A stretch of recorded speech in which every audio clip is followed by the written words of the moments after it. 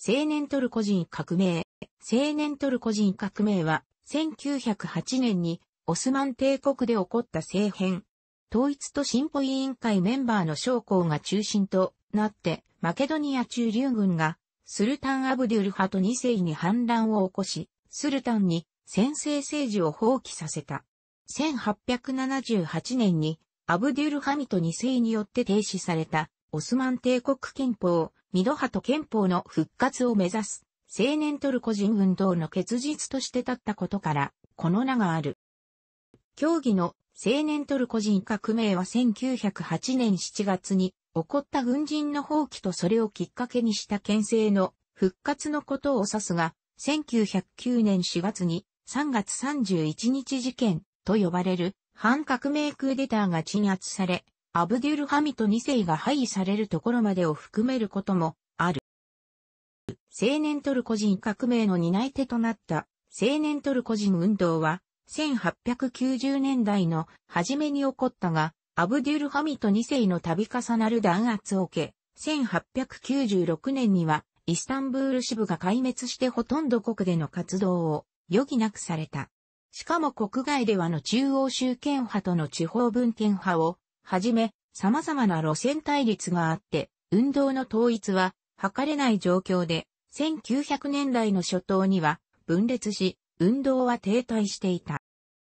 ところが、1905年に県政を導入した日本が日露戦争で勝利したこと、その影響で1906年以降隣国ペルシアのガージャール朝で立憲革命が起こって国王の先制体制が終わりを告げようとしていたとなど、それらに刺激されて、県政復活の運動は勢いを取り戻し、国外ではなく、国内に県政復活を目指す組織が再建され始めるようになった。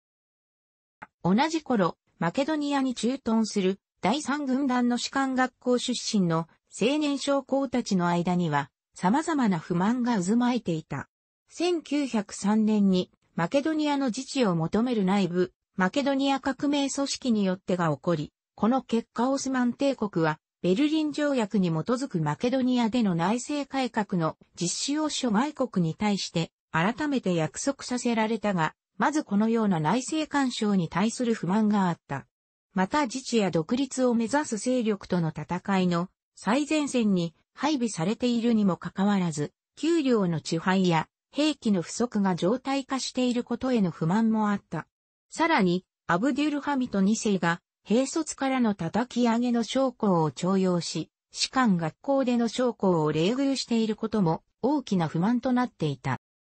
第三軍団の青年将校たちはこれらの不満や現状への危機感からオスマン帝国の進歩のためには県政復活の必要性があるという思いをより強くすることになり、サロニカの郵便局インタラートが組織した秘密組織、オスマン自由委員会に参加するようになった。オスマン自由委員会は、第二軍団の所在地であるエディルネにも、支部を作り軍内部の支持者を、安一方、パリの統一と進歩委員会のアフメトルザのグループと接触し、1907年には名前を解消して、統一と進歩委員会のサロニカ本部という位置づけを得た。こうして統一と進歩委員会は、国内に再び大きな基盤と組織網を有することになり、県政復活の運動を進めていくこととなる。1908年7月3日、統一と進歩委員会のサロニカ本部に属する軍人のやエンベルパシャが率いる部隊がサロニカなどのバルカン半島諸都市で武装放棄した。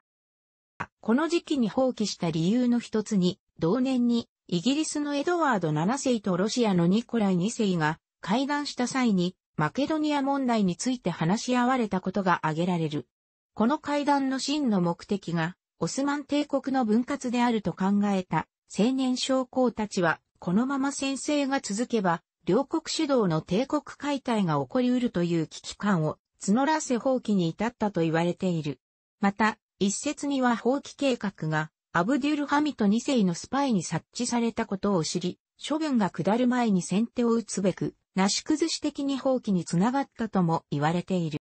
アブデュルハミト2世は即座に鎮圧を命じ、アナトリアから鎮圧部隊を向かわせたが、鎮圧部隊が反乱部隊側に寝返るという事態が発生する。これによって、アブデュルハミト2世は武力による鎮圧を諦め、騒乱の沈静化のために7月23日に一転して反乱部隊の要求を飲み、憲法の復活を宣言した。下院選挙の結果、同年12月17日には、下院も再開されて、武装放棄の目的であった県政の復活が果たされた。この武装放棄から県政の復活までの一連の流れを青年トルコ人革命と呼び、これ以降のオスマン帝国の時代をと呼ぶ。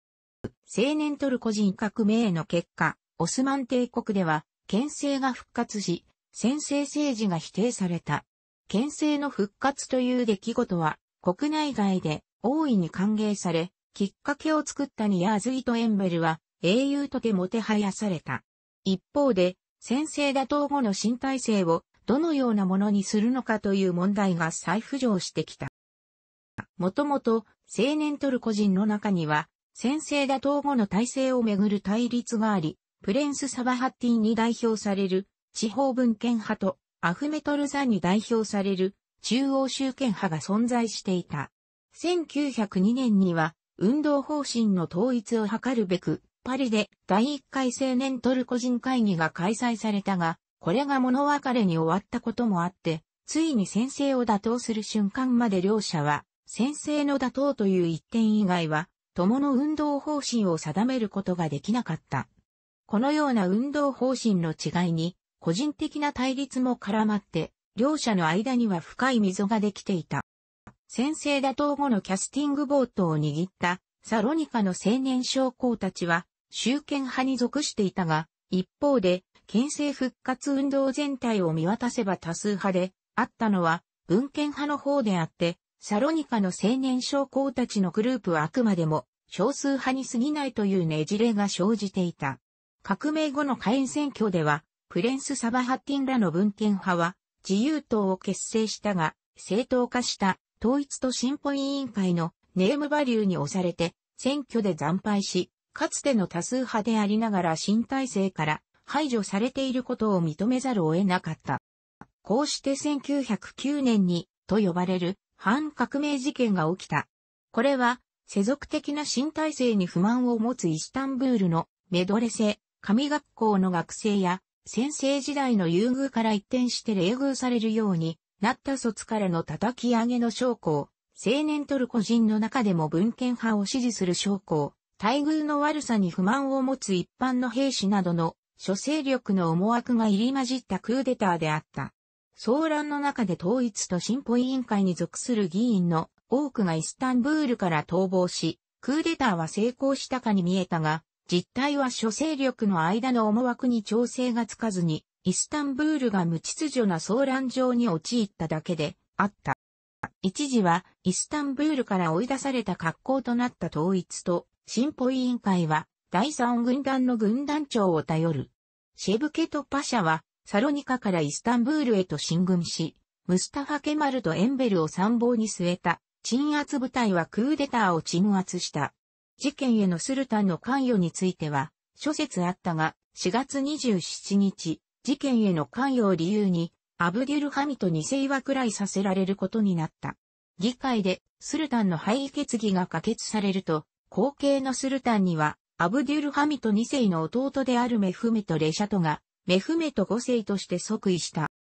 3月31日事件を鎮圧した統一と進歩委員会ではあったが、中央政界に直接その影響力を及ぼすようになるにはなお時間がかかった。統一と進歩委員会は、下院第一党ではあったが、議員内閣制ではなかったことや、政治経験のない比較的若い人物が多いこともあって、自派の人物を大宰相とすることができなかった。アブデュルハミト2世を廃位した後も状況は変わらず、やむを得ず自派の主張に比較的近い政治家や軍人を大宰相に据えるという方法をとった。しかし、このような間接的に影響力を行使しようとする方法はうまくいかず、政治の混乱を招いた。政治の混乱は、かつての青年トルコ人革命の指導者であったタラート、エンベル、ジェマル・ラガーを起こし、統一と進歩委員会が自派から大宰相を擁立して、実権を掌握する1913年まで続いた。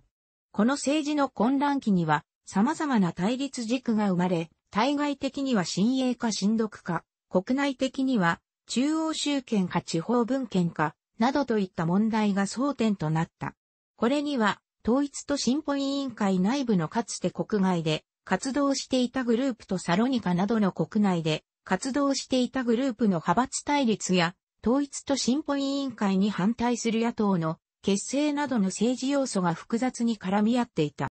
実権を握ったタラートらは、による統一と進歩委員会政権を組織し、中央集権化政策を推進していったが、その政権運営は反対派にとっては、先制政治への逆行、革命の反動化を思わせる強権的なものであった。楽しくご覧になりましたら、購読と良いです。クリックしてください。